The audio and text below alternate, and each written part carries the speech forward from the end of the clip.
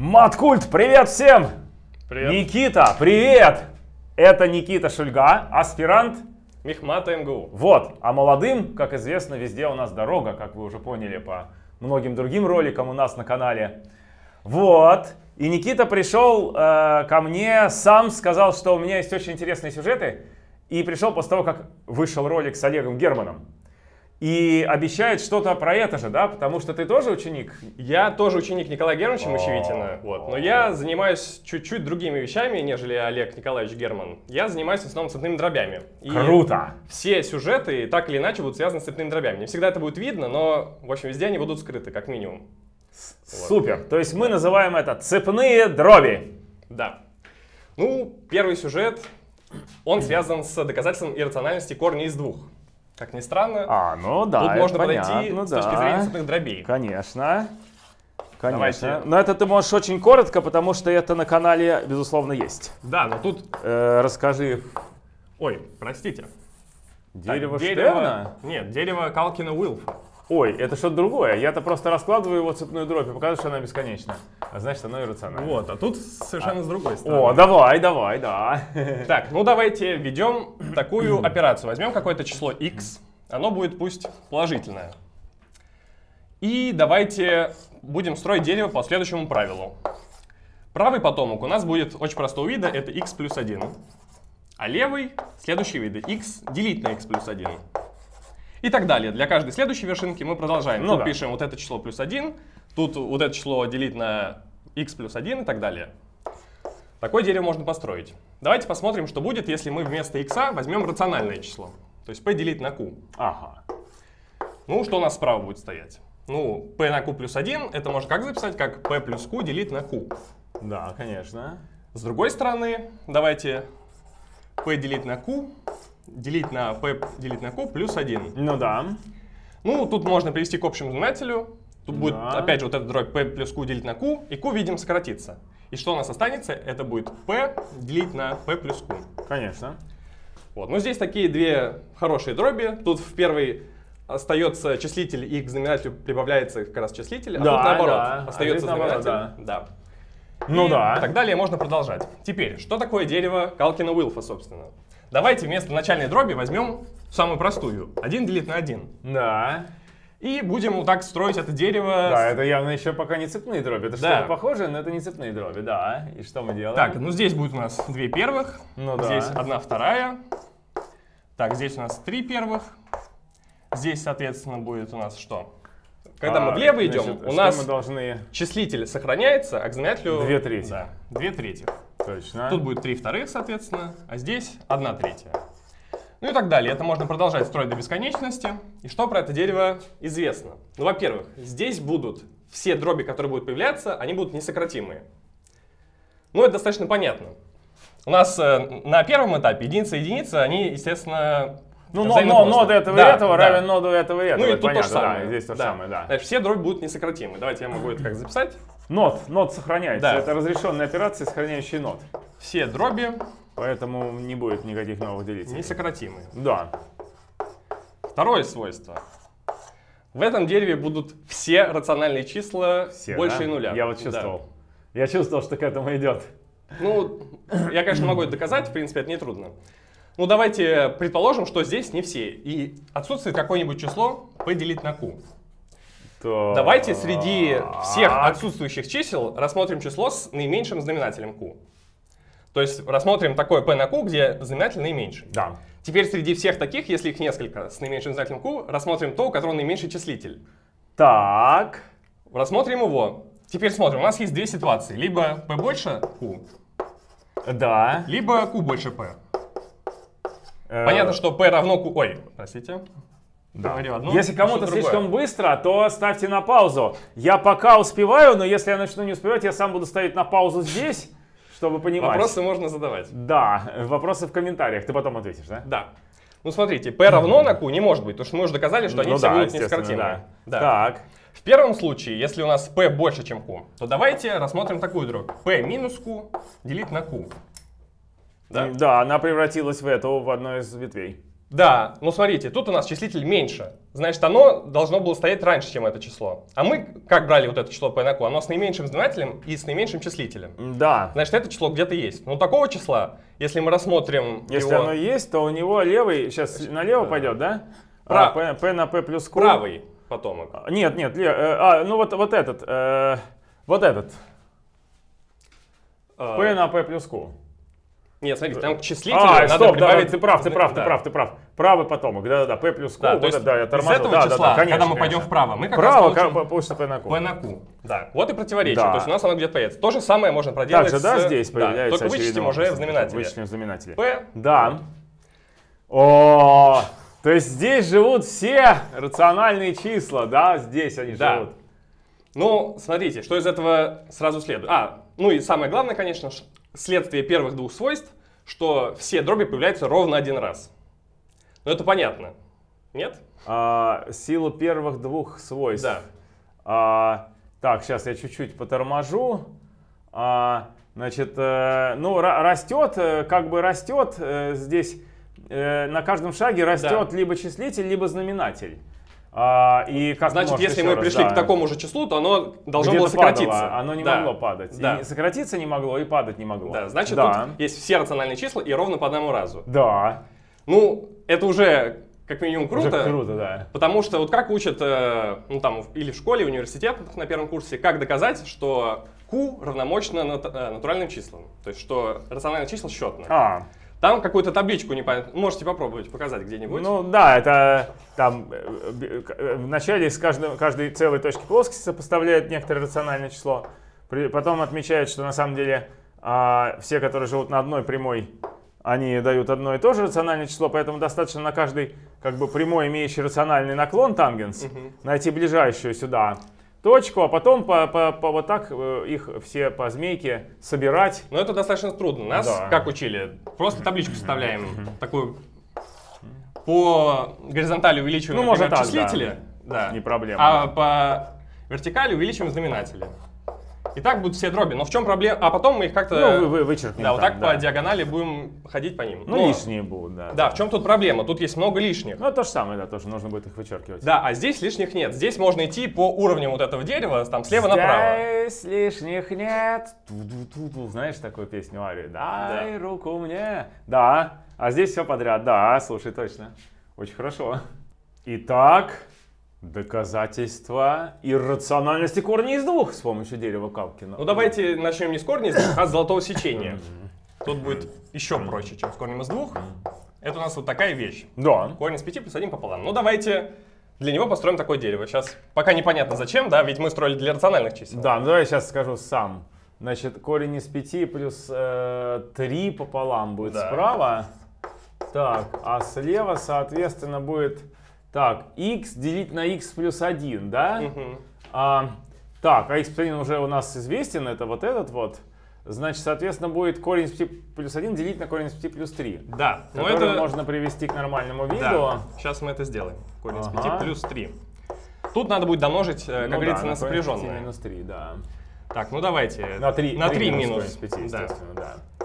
Корень из 5 Да. плюс 1. Ну да. Знаменатель он останется, Четверка. да, 4. Ну давайте тут мы это все сокращаем. Это Так, у нас да, будет... в уме Давайте. скажу. А, минус 2. Так, э, плюс 2 корня из 5. А 2 корня из 5 минус 2 делить на 4. Корень из 5 минус 1 пополам. Корень из 5 минус 1 пополам. То есть противоположная к этой величина. Давайте, ну, оно же это и есть вот этот элемент, просто в другом виде Да. записанный. Давайте посмотрим на его правый потомок. Да. Запишите. На правый? Да. А, на правый будет вер- возвращаться к исходному. Да. Так, все, если рациональное число было бы, то оно никогда не вернулось бы Да. к исходному. Так как если это рациональное число, то оно было где-то частью того дерева, которое мы Да. нарисовали. Но там каждое число встречается один раз. Отлично, Тут мы его встретили прекрасно, дважды. да, все, вот у нас все готово. Ну, Давай тоже с корнем из двойки. Давайте с корнем из двух. Так, ну давайте пойдем вправо. Корень из двух плюс один. Да, Давайте влево. отсюда влево, Да. да? А, от- так, отсюда влево это а, корень из двух плюс один делить на корень из двух плюс два. Да, Да? но это надо еще будет, да, поработать тут. Ну, то есть, э, да, на корень из двух плюс два, но это сокращается, получается 1 делить на корень из двух. Так, ну давайте Корень из 2 на 2. Ну да, можно это. Так, давайте еще разок влево. От корня из 2 на 2 влево. А лево это вот это сложное. Мгм. А, значит, то есть э, э, корень из 2 на 2 делить на а, корень из 2 плюс 2 на 2. Корень из 2 делить на корень из 2 плюс 2, да? Сейчас, Мгм. подожди. Точно, да? Э, нет. э, Ну, я могу записать. Сейчас, нет, давай, Да. сейчас. А, значит, давай все-таки я, я привык, значит, 1 делить на корень из 2, да? Это вот это. Мгм. А здесь 1 делить на корень из 2 плюс 1, да? Да. Вот, умножаем на корень из 2, 1 делить на 1 плюс корень из 2. Но опять же, А, лучше... то есть из- корень из 2 минус 1. Да. И Да. что дальше делаем? Ну, уже понятно. Справа. Вправо идем, корень из двух. Да, Мы правильно. опять его встретили дважды. Опять встретились дважды, да. Да. Так. Итак, на самом деле, То есть, на самом деле, э, от единицы идет некоторое дерево, в котором, во-первых, любое рациональное число встречается ровно один раз. Да. Во-вторых, если начать с этого рационального числа, просто будет кусок дерева. и. Да, Больше да. ничего. И значит, очевидно, в нем не встретится больше никогда оно само, и все остальные будут больше. И как только мы видим число, которое повторилось, мы точно знаем, что оно нерациональное. да. И так можно работать с многими иррациональными числами. Ну, Очень хорошо, очень Да. красиво, да. А со всеми или квадратичными рациональностями можно провести этот фокус? не со всеми, к сожалению. Но, возможно, этот метод можно как-то обобщить. На самом деле, вот этот результат о доказательстве иррациональности таким способом вышел в прошлом году. Статья вышла. То есть это такой свежак в математике. Но там в статье доказывали для иррациональных чисел такого вида. Плюс p делить на q с некоторыми условиями там на p и q. То есть Так. там кажется, что n в квадрате дол- должно быть меньше p, вот, и какое-то еще условие. Ну, в общем, класс чисел достаточно узкий. Вот. А, тут я накосячил. Наверное, наоборот, больше. Ну, да? неважно, да. Да. Допустим. Ну, так. класс чисел достаточно узкий, но, тем не менее, для всех таких чисел как бы найден алгоритм, который непременно приведет к тому же числу в этом дереве. О. Вот, то есть там как бы автоматически доказана иррациональность всех чисел такого вида.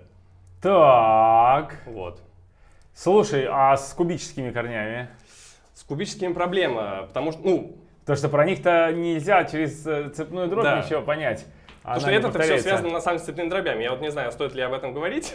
Ну, здесь что-то угадывается, но я э, не могу точно сказать, вот как угадывается. То есть я, я знаю, что цепной дроби у нас какая операция? Цепной дроби операция такая. А, ну, если это угу. там, положительное число, то оно, если либо оно меньше единицы, либо больше. Здесь переход к 1 на x, что похоже угу. на вот это. А здесь переход к x минус 1, ну и много раз. Ну, что да. как бы одноразово похоже на вот это, но только наоборот. Но, это, наверное, должен быть плюс 1, чем минус 1 ну, э, нет, ты же э, вычитаешь из него как бы А, э, ц- да, постепенно э, ты дробную часть. Ну там, как бы строго говоря, э, цепная дробь это повторенный алгоритм, где на каждом шагу идет или или взятие а, значит выделение целой части, Мгм. э, если x больше единицы. Или 1 делить на дробную, если x меньше Да. единицы. То есть вот что такое цепная дробь.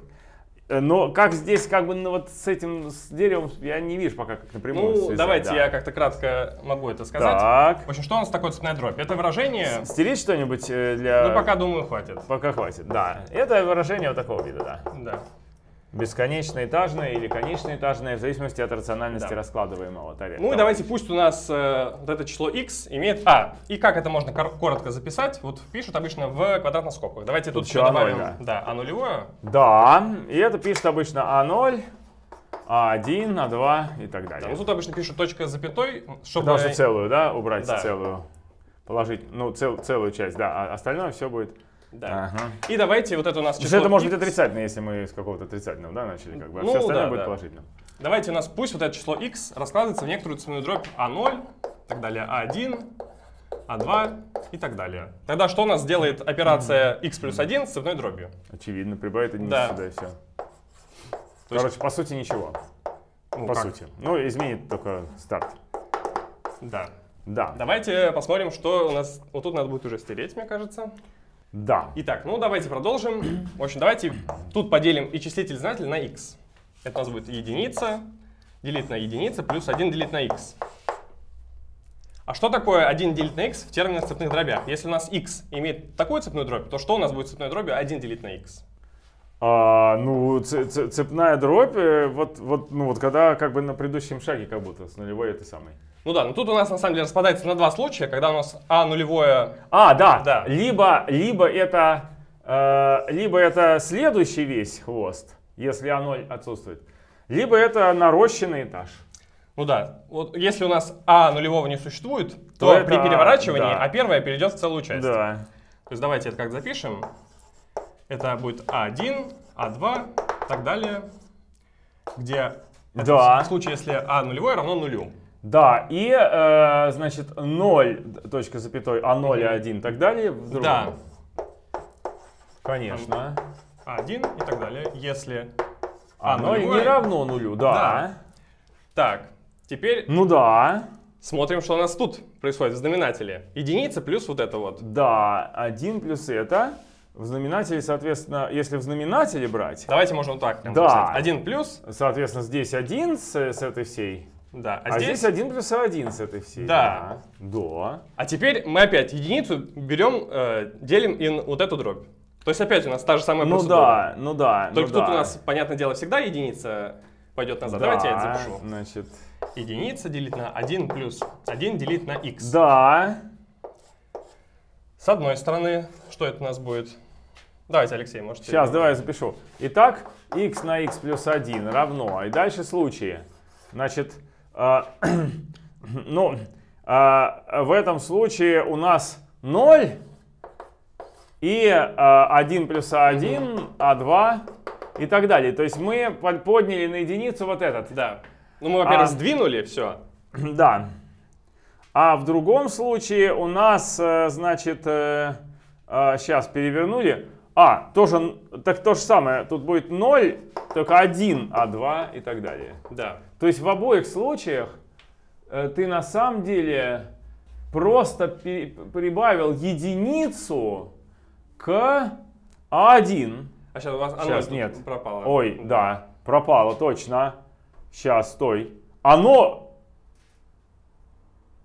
Так, я торможу. А один, а ноль. Да.